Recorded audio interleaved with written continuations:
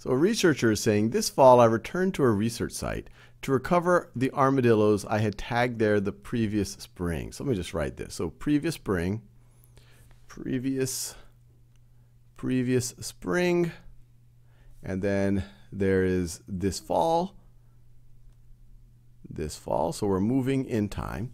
And he returns to a site to recover armadillos. So let's say that this is a broader region and he's returning to a site to, so this is the site right over here. And he returns to that site. So I'm drawing the broader region and I have this site over here. So this fall, I returned to a research site to recover the armadillos I had tagged the previous spring. So let's say here are the armadillos that he tagged the previous spring. Since a large majority of the armadillos I recaptured were found within a few hundred yards of the location of their tagging last spring.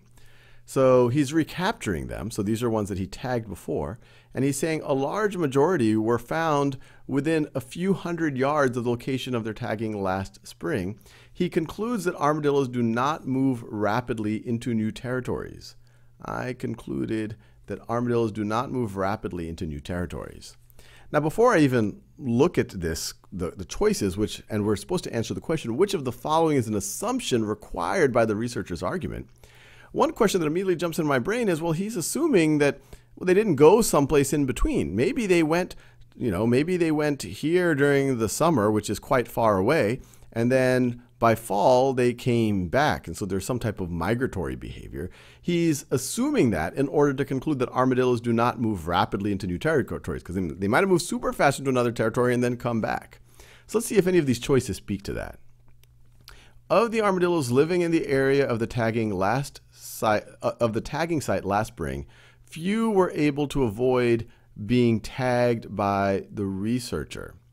Well, no, his assumption isn't based on the proportion of armadillos, of all of the armadillos he was able to tag. He's just saying, hey, of the ones that I'm recapturing, a lot of them seem to be near the same area. So this doesn't seem to be a key assumption required. Most of the armadillos tagged the previous spring were not recaptured during the subsequent fall. No, that's not a key assumption that he's making. In fact, that would undermine his position if he's only able to get a very small fraction that, you know, most of the armadillos tagged the previous spring were not recaptured during subsequent fall. That would actually give a problem to his argument. Predators did not kill any of the armadillos that had been tagged the previous kill, the previous spring. No, he's not saying that he recaptured all of the armadillos or that he needs to recapture all of the armadillos. It's possible that predators killed a few of them, but he's recapturing. He's saying of the ones that he reca- that he recaptured, that the majority were within a few hundred yards of this same location. And so it's, it's, it doesn't mean that he has to get all of them back, that we can't, you know, that all of them had to be alive from one year to the next. It's just most of them have to be around. D, the tags identifying the armadillos cannot be removed by the armadillos, either by accident or deliberately. No, once again, this is very close to C. He's not saying that he has to, that the tags have to, all the tags have to be there he he's as he said, he's just saying mo- the majority of the armadillos he recaptured. So he is assuming that he had to recapture a good chunk of them, but not all of them. So even if some of the tags get removed or some predators kill some of the armadillos, it doesn't seem like that big of a deal. So now let's go to the last choice, which is hopefully the answer since I ruled out the first four.